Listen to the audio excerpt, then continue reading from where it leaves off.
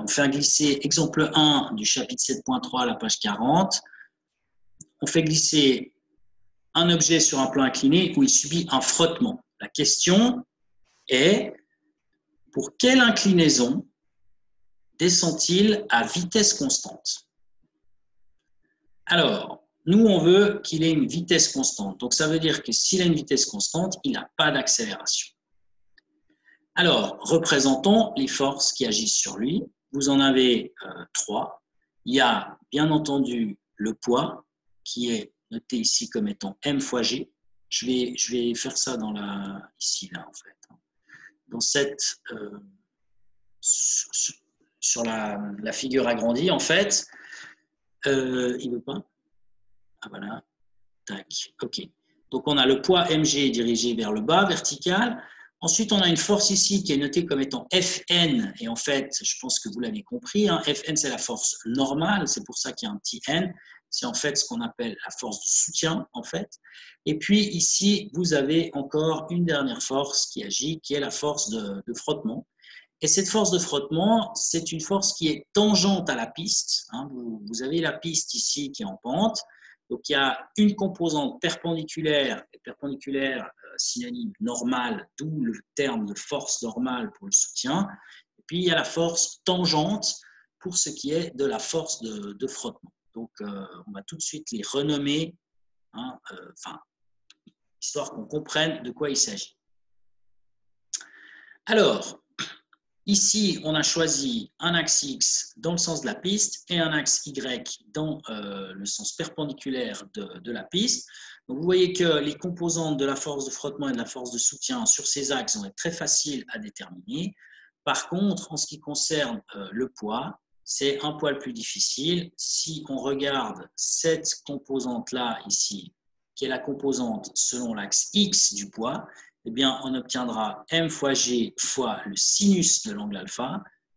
Sinus de l'angle alpha, puisque l'angle alpha est ici, hein, en fait. Donc, on est dans le, côté ici qui est en face. Et puis, euh, si on regarde la composante sur y, c'est-à-dire cette partie-là, eh bien, c'est le côté adjacent à cet angle alpha. Donc, on devrait obtenir mg cos alpha.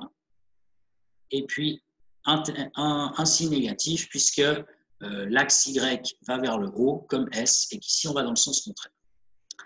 Donc, fort de ceci, on va, on va écrire donc premièrement la deuxième loi de Newton. La deuxième loi de Newton, elle dit somme des forces, j'ai écrit ici, est égale à zéro.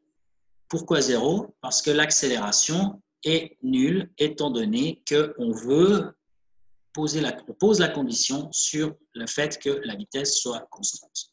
Donc, on a somme des forces égale ma, et comme A égale 0, eh bien, ça donne 0.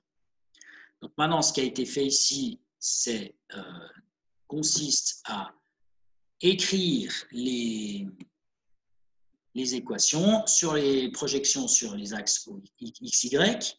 Donc, on avait vu que sur x, euh, la composante du poids, c'est mg sinus alpha. Et puis, euh, il n'y a pas de force de soutien selon X. Hein. La force de soutien est perpendiculaire à la piste. Par contre, il y a une force de frottement qui va dans le sens inverse de X, si vous regardez votre schéma, donc moins Ft. On obtient donc cette première euh, formule ici. Et puis, euh, donc ça c'était sur X en fait. Hein. Et puis maintenant, si on regarde ce qui se passe sur Y, eh bien sur Y, on avait moins mg cos alpha pour le poids. Et puis à ça, on additionne euh, la, composante de la, force de soutien, hein, qui, est appelée Fn dans le calcul, qui est positive, puisque elle, elle va dans le même sens que Y. Pour ce qui est de la force de frottement, la force tangente, elle est justement tangente, donc parallèle à X, et donc perpendiculaire à Y. Il n'y a pas de composante sur Y.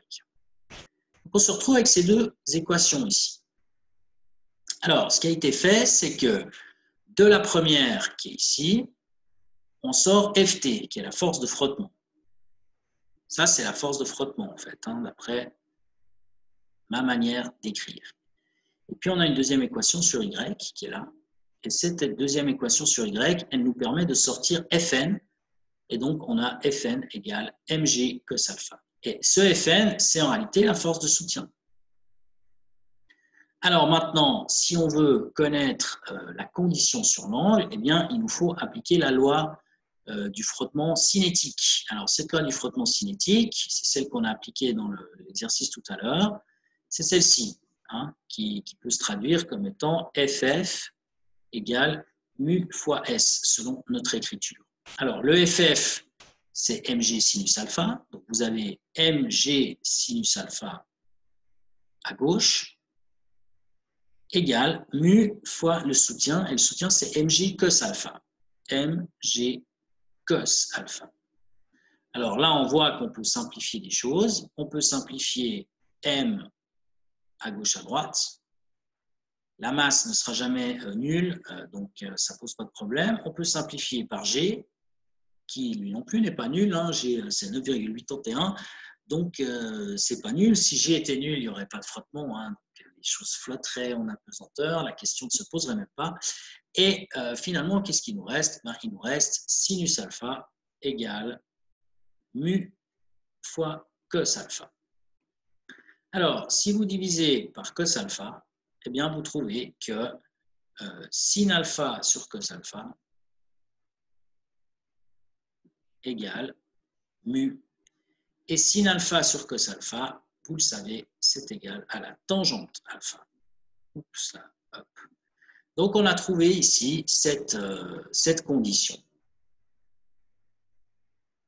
Pour finalement euh, que l'accélération soit nulle, c'est-à-dire que la vitesse soit constante, il faut que la tangente de l'angle alpha soit égale à mu.